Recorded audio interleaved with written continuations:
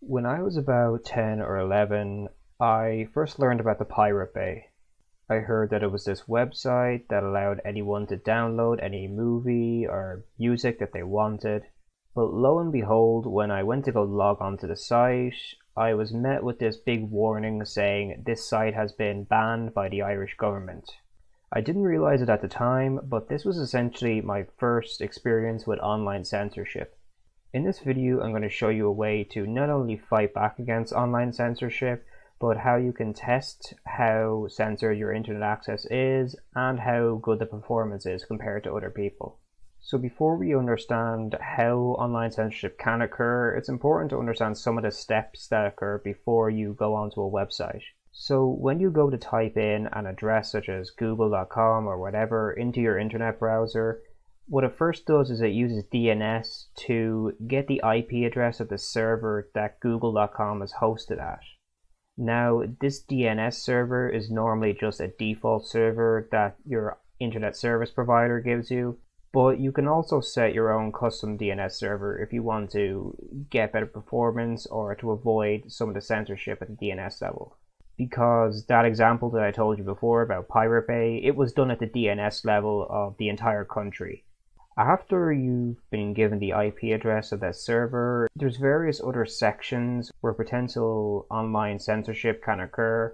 What we call these as middle boxes. It can also be that the website that you're trying to go to is being fulfilled by a content delivery network, and that essentially changes the website that you're shown depending on whatever country you go to. So, for example, if you go to Google, depending on what country you're in, it's going to show you it in a different language, such as in Hindi if you're in India or English if you're in the United States. What this means is that there's various different sections that online censorship can occur, and there's so many methods that can be used that they're too numerous to even name in this video.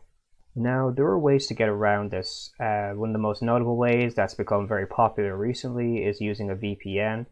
Now, the thing with a VPN is that although your internet service provider can't see what you're doing, the company that's hosting the VPN can. So you're instead of placing your trust in your internet service provider, you're just doing it to a private company, which have been known to give this data to the government when asked. Alternatively, you could use Tor, which is what I'm using now.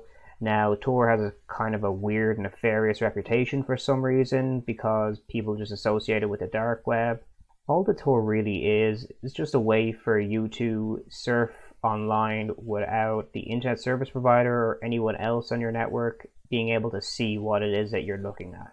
It doesn't automatically allow you to do anything illegal or nefarious in any way, and it can be a great tool to help prevent online censorship. The thing is, these are both just preventative measures, but it's quite hard to tell how censored your online activity actually is unless you can compare it to other people. And this is where the OONI comes in, or UNI if you want to give this acronym a name for whatever reason.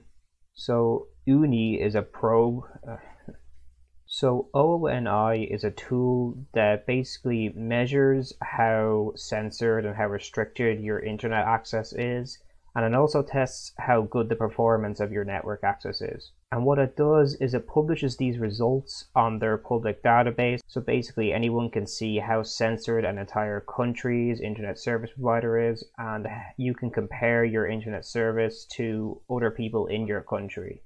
Not only is a good way of analyzing your own network and your own internet service provider, but it gives a good indicator of how bad it is in other countries as well. They publish reports all the time for various countries so we can see just how bad the internet censorship is in them. So, Belarus, for example, and Myanmar, which is currently going through a something, I don't really know what it is. Now, there's two main ways you can go about using OONI. You can do it on your mobile or on a desktop. If you're doing it on the desktop, you can use the command line interface, which is quite handy. Now, I haven't done this myself, but I wrote an article which basically explains how you can download the CLI um, for Win for Mac, should I say, or for Linux. And if you want to, you can run that. It'll allow you to, you know, select features a lot easier than just using it on the mobile. For demonstrative purposes, I decided to do it on mobile. You can download it from FDroid, which is what I would recommend if you're running something like Calyx OS or Graphene OS or Lineage. If you, on a side note, if you want to learn how to install Calyx OS, which completely gets rid of all Google services on your phone, you can check out the video that I made last week. Essentially, when you start using the mobile app, it'll give you a quick quiz so that you understand the risk. When you use this tool, because it has your network information in it, uh, your internet service provider can easily figure out if you ran this tool. So if you're in a country that really prohibits using Tor or other privacy tools, then it's probably a good thing to avoid using this. But yeah, it just goes through and runs these tests. So it's running the web connectivity test right now.